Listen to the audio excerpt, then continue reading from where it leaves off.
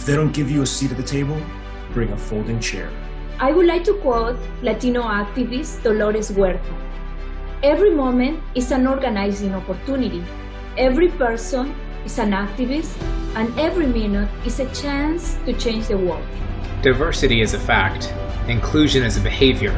However, a sense of belonging is the emotional outcome that we're seeking. The goal is for employees to develop a sense of purpose at work and a sense of community. The beauty of the world lies in the diversity of its people. Not everything that is faced can be changed, but nothing can be changed until it is faced. Change starts starts with with me. me.